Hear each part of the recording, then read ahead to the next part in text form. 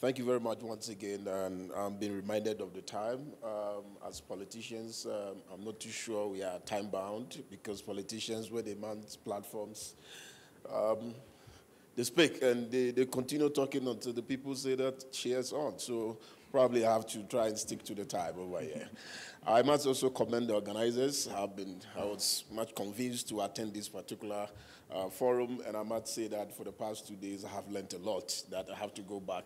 So I agree with you that we change uh, the, the forum to urban therapy, not urban age, because a lot of uh, um, information that I have received here will, will really impact um, back home in Accra.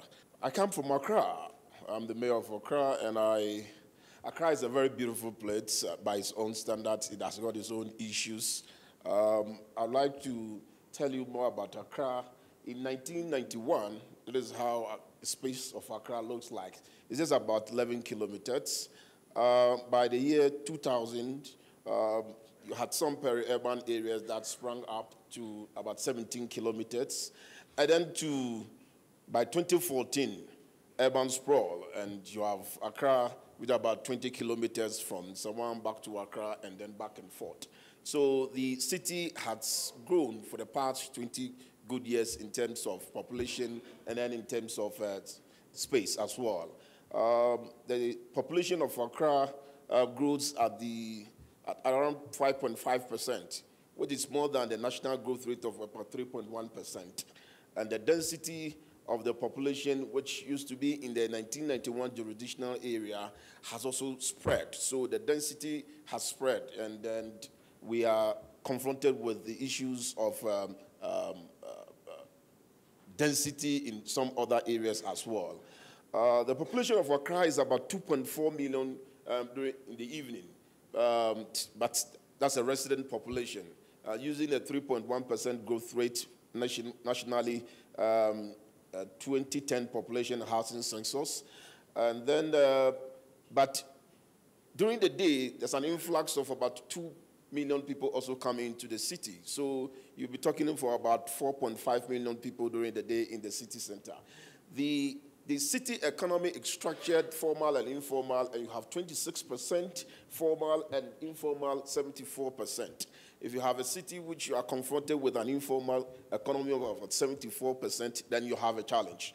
And the challenge is where politicians always term that informal sector as a nuisance economy because there's a difficulty in collecting your rates, there's a difficulty in reaching out to people, and oftentimes, because the formal sector is easy to access, we much concentrate on that. And that leads us to to the big issue of inclusivity. How do we marry these two issues? Because if you have a city that has an informal sector of about 74%, it's extremely important as a, as a leader to pay attention to that sector. Uh, 55, 56% of Accra population is made up of young people. We have a very youthful population in Accra, and I could see that 71% um, of that is economically active. We, I want to show you some slides about the, the, the socio-economic classification of Accra. And it tells you where the people are living at. So Accra Central, which is a central business district where my office is, is that's what uh, the yellow column represents it. And then you have the first class residential area when you come into Accra, the airport area, cantonment, East Legon. These are the first class residential neighborhood. And then you have Old Accra, which is along the beach. And in Old Accra, it became old simply because by 1965, when we had a harbor there, it was moved to another town, which is Tema. So it tended to be Old Accra. Once the, the mainstay of the economy, which is the harbor, was moved out, that led to the economic downtown of the Old Accra. And then you have Sukura, some informal settlements. And let me also share with you that uh, in Accra, every community that you find, which is high class, there's an adjoining informal settlement. And the connection of the informal settlement to the, to the high class residential area is that they feed into it. The high class residential area also needs people from the informal settlements for menial jobs to supply them with a couple of things. So there's a connection between the formal and informal settlements as well in Accra. And then we have Old Fadama. Old Fadama is very popular. I'm sure those of you in, who have been very active in, in the urban, urban issues know about Old Fadama, which is popularly called also at Sodom and Gomorrah. Um, it's the largest uh, informal settlement that you have with over 100,000 people, but we don't call it Old Fadama. Uh, and then we have the Korle Lagoon, which is the, the only main um, um, water body that cuts across the city center and enters into the sea. These are the two sides of Accra. It's a sharp contrast of um, a beautiful place and then a truck pusher, but they all live in the city. How do you? How do they interface so that we will ensure inclusivity? that the people for, who are living in the high class residential areas will acknowledge the contribution of the people in the informal sector, and also the people in the informal sector will also recognize that they have an aspiration to live a better life as well. This is what brings us to the challenge in Accra. And uh, we have the building blocks for me on the building a social capital on the inclusivity. I just want to share with you an experience about Accra, who we are, and Accra, talking about inclusivity, where we live, what work we do, as well as um, talking about uh, our means of recreation, our level of social and economic security, our level of community engagement, and also how we perceive others in Accra. Who we are as people. First of all, I want to emphasize on the fact that as a people, we'll appreciate education so much. Because of time, and I just want to cite an example on each of the each of the social capital ends blocks that I have mentioned. Education is compulsory at the basic level from kindergarten, and it is, it is also for free. But what is the contribution, and that's for the state, but what is the contribution of local government authority? The local government authority also support by making sure that we provide more of the, of the infrastructure and then as well as um, many other things.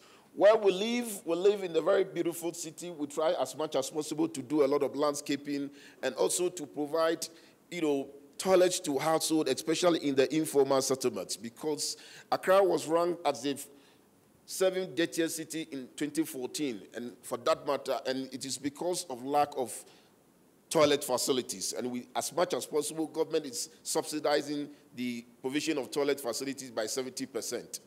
What we do as people? Well, we support also the informal sector, which is predominantly the, the, the mainstay of the economy in Accra. You could see that we have a lot of markets in Accra, and the commerce in Accra, which is the market in Accra, basically we have all the big markets in Accra, and everybody in the country comes to Accra Central to do business one way or the other. It's a retail market and as well as bulk breaking. So everybody comes to Accra to come and do one business or the other. Our means of recreation, sports is one major event that we could use to turn around informal settlement. All our big players, all our big stars in boxing, all of them come from the informal settlement. So promotion of sports in informal settlement is one way of promoting inclusivity. And this one is, is a stadium that we put up, and we are, we are using it so much now in Accra. Lo level of social and economic security we try as much as possible to make sure that um, uh, people who are vulnerable are also part of the society. And 5% of the Assembly's common fund, we have a common fund. And, and we make sure that 5% of it is dedicated to, to support um, people who are disabled. On Monday, we are providing a lot of things for people who are disabled. Uh, they choose what they want to do, and then we provide them with the means as well level of security, and many other things that we tried to do. Level of community engagement as part of our responsibility as a city, we engage because it's, a, it's mandatory that as part of your policy formulation, your budget preparation, you will engage a wide range of stakeholders, including informal settlement. So you have to engage, it's, it's a law. And we do a lot of cultural events as well to promote arts and culture, which is primarily the responsibility, uh, what uh, the informal settlement also uh, do most of the times in the city center. I've spoken a lot also about public engagements, and I will continue to. Uh, urban mobility is also very critical.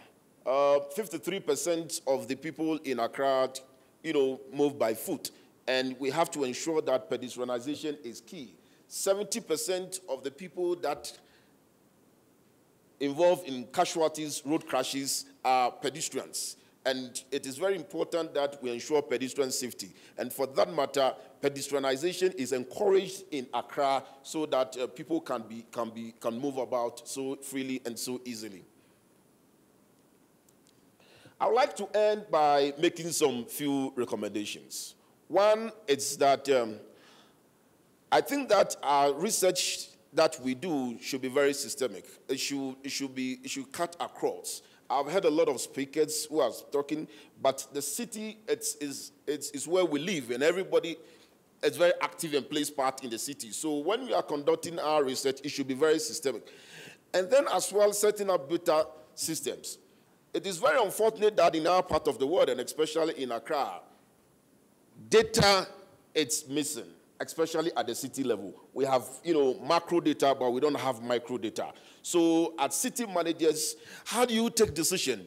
You know, your decision has to be driven by data, and it's very important that we look at the data. And five months ago, I have set up a data center that is also helping us in making sure that we do some of this. Reducing the size and effect of the underground economy. Oftentimes, because of the informal sector, 74%, they, are, they can't be seen. Many of them cannot be seen and how to reduce the size and effect of the informal economy so that a city authority will be able to tap into some of these resources. Government is introducing tax identification net, uh, system, which everybody, if you want to do business, you have to get a TIN number. Government is also introducing what we call a national identification. We have different IDs, either driver's license or whatever. We want to make sure that we, we have a national identification, which everybody can be can, can, can hold on to so that, so these are, and then we have introduced a digital addressing system that everywhere you are, you will be able to generate an address which is about 5.5 kilo, 5.5 meters, square meters. So you will be able to generate address which is very unique and we'll be able to trace them. So these are ways that we are using to be able to reduce the effect of the underground economy. And finally, we need to also ensure that the coverage and connectivity of economic and social service, uh, such as reduction in accidents and number of people, establish jobs through the assemblies fund to vulnerable groups. These are some of the ways that we believe that if we are able to take those steps, we will ensure inclusivity in, in our system. Thank you very much.